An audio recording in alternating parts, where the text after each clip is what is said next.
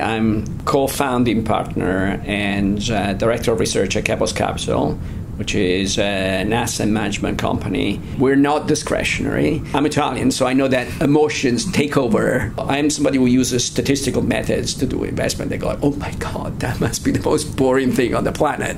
There is overwhelming evidence that the best decisions are made based on a lot of information, a lot of data. I'm, I'm, a weird guy. I'm now almost 60, and I still love the idea of using statistics to evaluate what people say.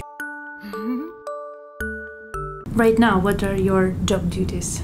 A lot of things. Technically, I am the director of research, which means in a job like mine to interact with a lot of researchers and so evaluate what they're looking at, evaluate their new ideas for new strategies, and eventually sign off so that those ideas become actual trading strategies. And we use those trading strategies to manage money for our clients, for our investors. As a co founding partner, I'm involved in almost every other decision for, uh, to run the firm, management, hiring, and many other things. But I would say definitely my background is more as an ex academic is supervising research and, and working on our strategies. What is a trading strategy? Trading strategy is essentially, at least for what we do, is any idea where you say, okay, there are some securities that you can trade, and those securities can be the most obvious ones to anybody, like trading stocks, uh, so shares of a company, to trading financial derivative, derivatives, so say futures contracts, forwards, options, options, and so on. What we do here, we say anybody on our research team is free to come up with any idea and say, for instance, oh, I think at this particular time of the month, uh, there are interesting opportunities for trading this particular asset, this particular securities, or this group of assets. And so what we do is we evaluate whether that is really an interesting idea. Now, in practice, in a systematic or quantitative business like ours, when I say evaluate, what does that mean? So in our industry, you know, the big difference from an intellectual point of view is the difference between being quantitative, the way we are, and being instead a discretionary manager. So a quantitative manager like us will be somebody who says, okay, you suggested that maybe on, I'm just going to make it up, say on a month end, it's a good idea to look at performance of different markets and then readjust your portfolio based on what you have seen over the last few weeks.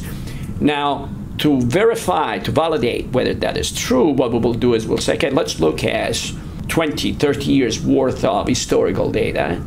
And let's try to see what would have happened historically if we use that idea. So you try to find empirical evidence that supports what, what you're trying to think, what you're trying to suggest. Discretionary managers tend to be a little bit more, and here I'm being a bit extreme, uh, but hopefully still fair. Discretionary managers tend to be a bit more like, listen, the world changes every day. You can't really look at historical data. They tend to go more into, I think that given the recent monetary policy that the Fed is following, we should do this. And so they still trade securities, but they don't trade them based on strict statistical rules, if you want. So you're not discretionary? We're not discretionary. The reason why we're not, the main reason why I'm not for sure is that I'm Italian, so I know that emotions take over in many aspects of life. Definitely in investment management, I would say there is plenty of research that shows that we're all overcome by emotion, especially during stressful times. And guess what? If you're managing money, every day is stressful is, is, is a stressful day, right? The idea behind being a quantitative, being non-discretionary, is that you can be extremely creative, but you can be creative. Eh, your creativity is mostly when you do your research. It's not when you execute your trades.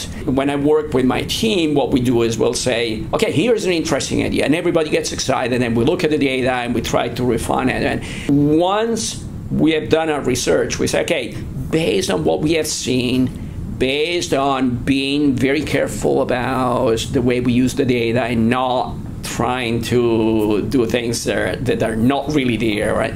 Eh, but based on what we have learned, those are our trading rules. And then you stick to those. You're not allowed to come in and basically say, ah, you know, I think that today is a different day, or uh, I'm really nervous about this. Forget what we have seen, because we feel that that is the most dangerous aspects of human nature. There's this tendency to override what you really learn from years or from many data or from a more scientific approach. And by the way, this is not something that we came out with out of the blue. There are fascinating papers that talk about discretionary versus systematic decision making, even in the medical field. And I, I wish that everybody read those papers because, you know, all of us often in life face uh, times when you have to make difficult decisions and you you go to the experts. And there is i'm not telling people now not to go to the doctor of course but but but there is overwhelming evidence that the best decisions are made based on a lot of information a lot of data and filtering useful information out of the data rather than gut feeling or personal interaction you know.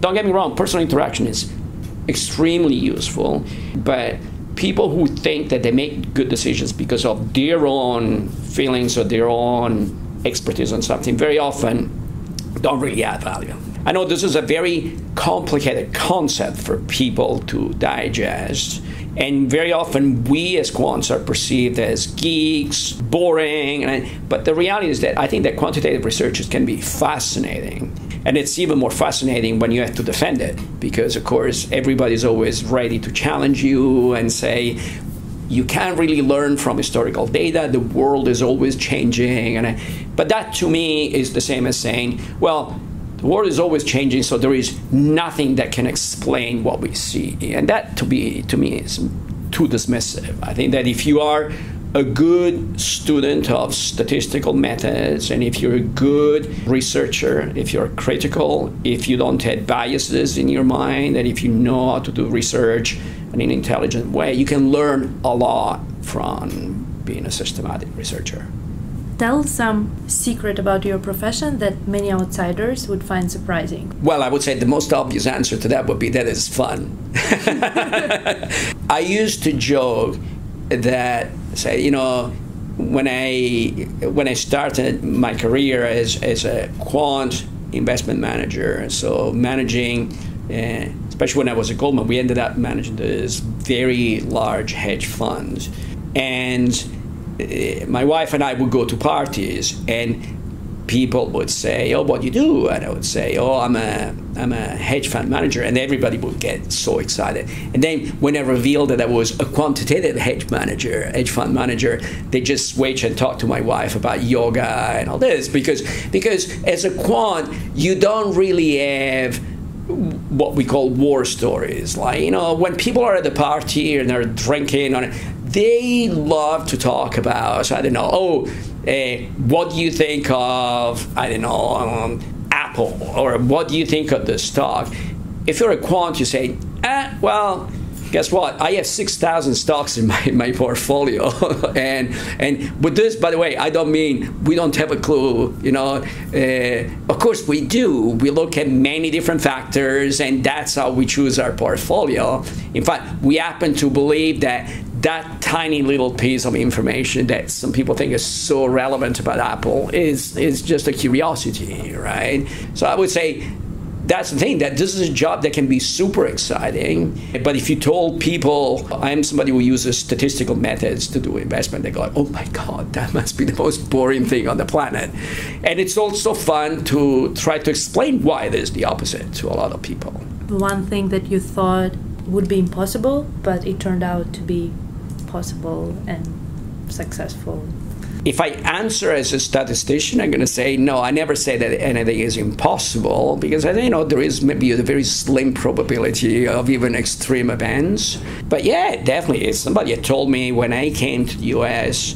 to do my PhD, somebody told, told me that 15 years later I would be a partner at Goldman Sachs, or 20 years later I would have my own asset management firm, I would have laughed. If nothing else, also because I remember when I went to Chicago, one thing that I always knew I liked was statistics and econometrics. I can't say that I also knew I was going to do finance. That was a bit more what happened, and, and, and again, this is something crucial, in my opinion, in everybody's life is being lucky to meet somebody who is going to be your mentor, your inspiration. To me, that happened twice. I would say at least twice. Uh, but you know, when I was in Italy, when I was about to finish college, I took my class in econometrics, and that that professor is actually the one who first mentioned to me the idea of going abroad to study because I never even dreamed of doing that. When I went to Chicago, believe me, my first year was at least the first few months were traumatic for how tough it was, and. It, and and there again, you know, uh, John Cochrane, who was became then my advisor and has become my my one of my best friends, first of all, encouraged me to persist. And then I remember years later, you know, when you are a penniless PhD student who you're not even sure you're going to make it to the end of the month. I received an offer from a bank. I, I was not done with my PhD, but I received an offer from a bank uh, back in Europe to work for their research department. And I was so tempted to take it because you go like, okay, just imagine I, I will have my income. And I remember once again, John said, listen, you finish your PhD and your life will be so much more meaningful. You'll be excited about what you'll do. And, you know, I will always be grateful for that advice because that, that definitely made a huge difference.